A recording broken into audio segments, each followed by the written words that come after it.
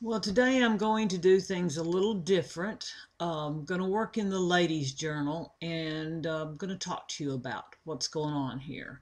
What you see now is I just wetted my page and used uh, the Caran d'Ache watercolor crayons and water and now I'm applying a white acrylic paint over the top.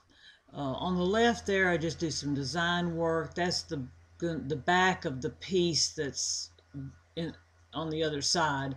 And right now I'm just working on one side of the paper because I may wind up actually offering these pieces for sale at some point. So I don't want there to be front and back. So here goes a, a little face. I'm using soft pastels here. I like to take soft pastels and blend them with water and use some uh, watercolor crayons and use some white acrylic paint and really get some neat colors doing that.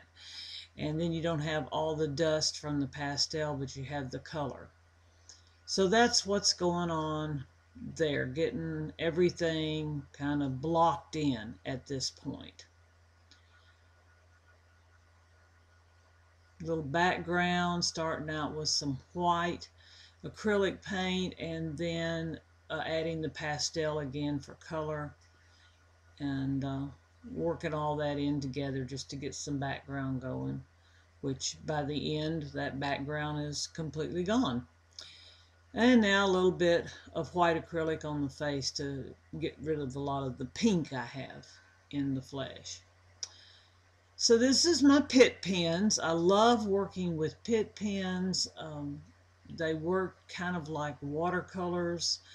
Uh, you don't you don't get the same effect if you use them just on plain white paper with no uh, acrylic on it. I, I, they work better for me if I work on top of acrylic. I can do a lot more blending.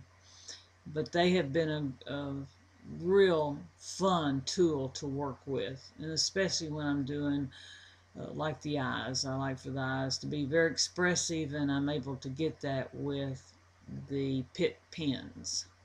You can get all colors in Pitt pens.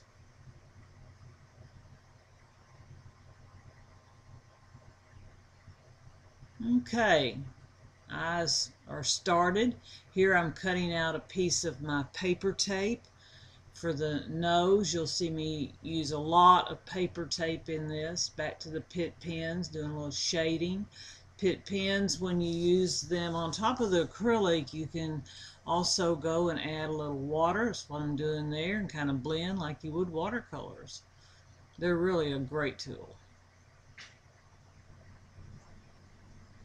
Now I'm just taking a watercolor crayon and getting the flesh tones going.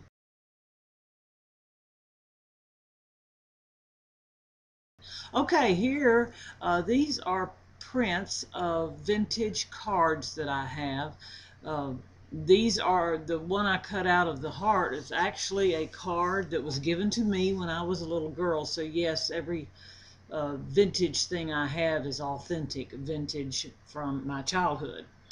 So uh, gonna use that. That was another little card there that I like. I love the verse on it but I'm not going to use that in this because there's really not room. But I love the little girl there on the left and a little boy with his heart.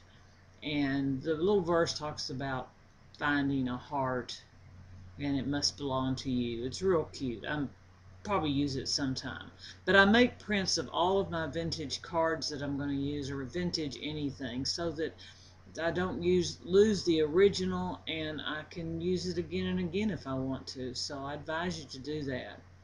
So I'm just taking and tearing up some of these old vintage uh, card prints and uh, from old Valentines and gluing them into the back. I have no idea exactly where I'm going with this. Don't know that any of this will even show when I get done at this point. In actuality, uh, at the end, you will notice really about the only thing left it shows is the little girl down in the left-hand corner, which is real cute. Uh, I, I just don't plan these things. I just let them happen. So using some Mod Podge here and gluing everything down, uh, to get it secure.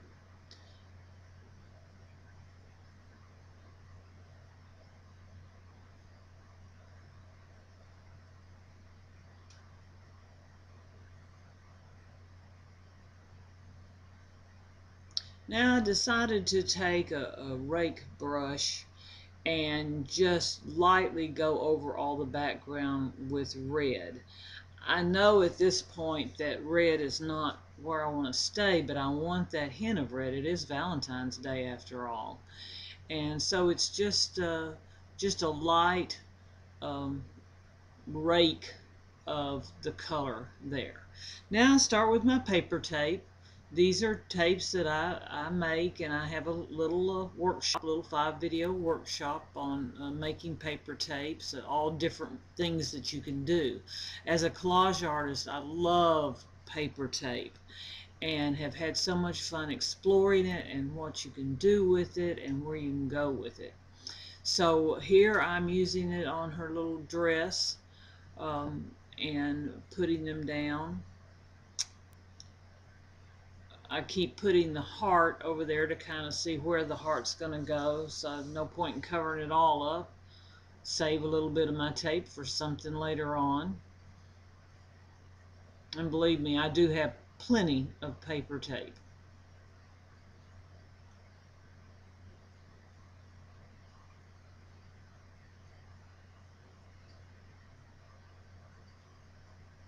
Okay, about to get it now.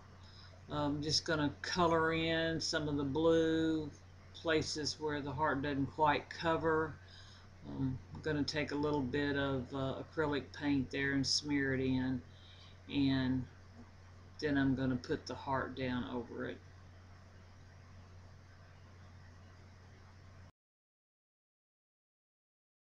A little bit of glue stick there and secure the heart down.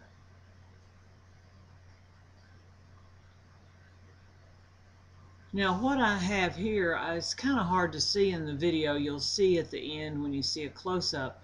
But this is paper tape that I uh, put white lace on. So it's blue paper tape with white lace that I'm putting around the heart at this point. I also got the book down a little bit there. Now just a little outlining and this is where I use my little tubes of paint that you see that I use are just uh, diluted acrylics that I use in tubes. And um, I, I, enjoy painting with those. It's like drawing painting at the same time. They are temperamental though. You do have to kind of learn to work with them now I'm cutting out some little hands just some little oval shaped flesh colored paper there that's going to be her hands holding the heart.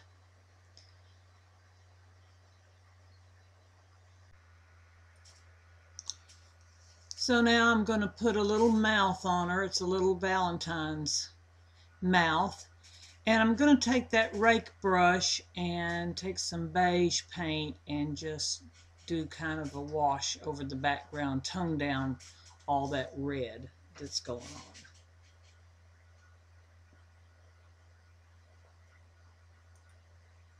This is my paper tape.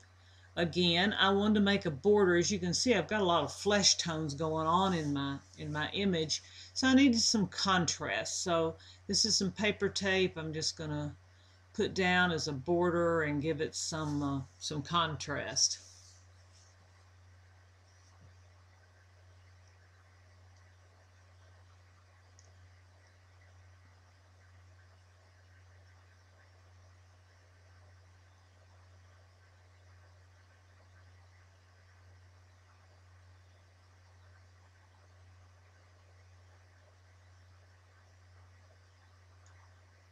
Now the hair. The hair is always fun. I never know what way the hair is going to go.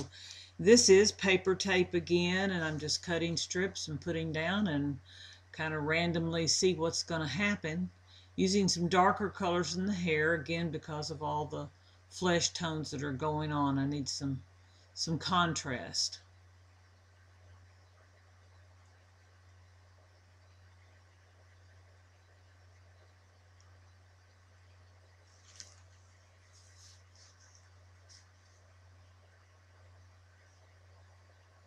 The hair is always interesting because I have naturally curly hair myself, and my hair kind of goes every which way. So usually that's the way my girl's hair goes, every which way.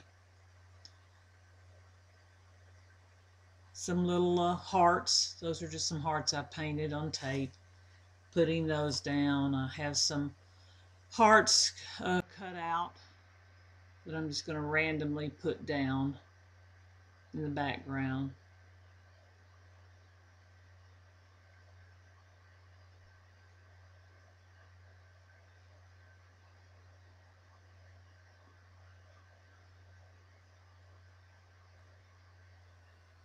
Now back to the Pitt pens and kind of do some stuff with the eyes again. Get them uh, more defined.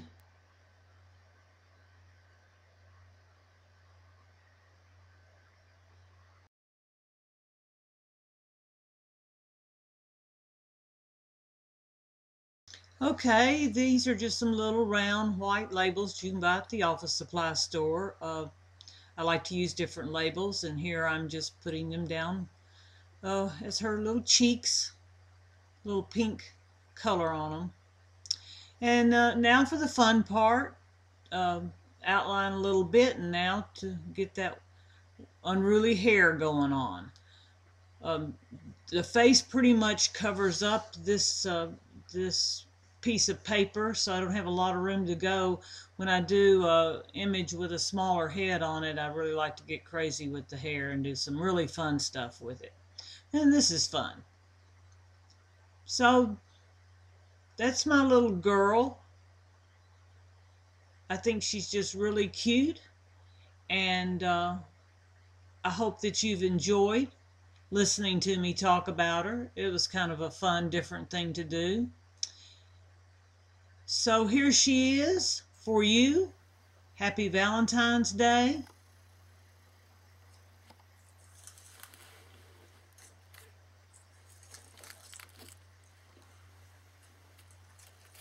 A Valentine for a dear little girl and guy.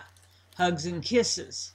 And little girl peeking out over there at the left. Isn't she cute? Thanks for coming. See you later.